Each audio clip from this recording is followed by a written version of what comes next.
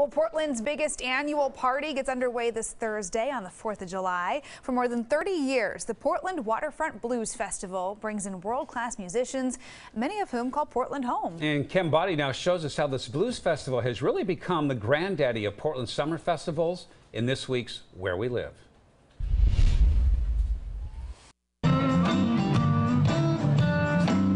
Than 100 performances, thousands of fans crowding Waterfront Park. The Waterfront Blues Festival recognized as one of the best in the world. But see, music is that vehicle that makes people smile. It makes people dance and move, and they don't know why. Portland bluesman Norman Boogie Cat Sylvester has played blues festivals since the beginning. It started in 1987 as the Rose City Blues Festival, sponsored by the Cascade Blues Association. Local standouts, including Curtis Salgado, Lloyd Jones, and Sylvester, joined national headliner John Lee Hooker. And it was for um, food um, to feed the hungry.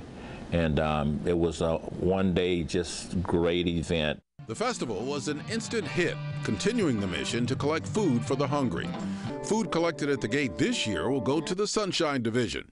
While Blues Fest brings in national artists, Portland's abundant local talent is prominently featured. That includes singer Arietta Ward, daughter of the late legendary keyboardist Janice Marie Scroggins, who played many blues festivals.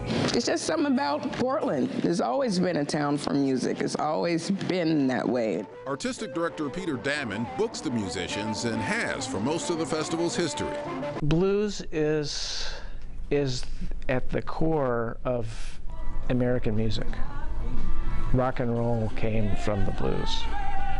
Every rock guitar solo has its roots in T-Bone Walker and B.B. King.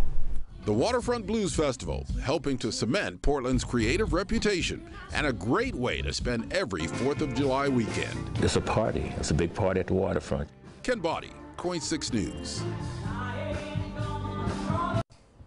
It's going to be my first Blues Fest. I oh, can't you're wait. You're going to love it. You're going to love it. I'm yeah. so excited. Well, over the years, the Waterfront Blues Festival has raised more than $10 million and a thousand tons of food. Robert Cray and Trombone Shorty are among the headliners this year. So be sure to tune in on Thursday night for the 4th of July fireworks special right here on KOIN 6. It starts at 10, and we'll also stream that on KOIN.com. We have much more information on the Waterfront Blues Fest at KOIN.com. Yeah.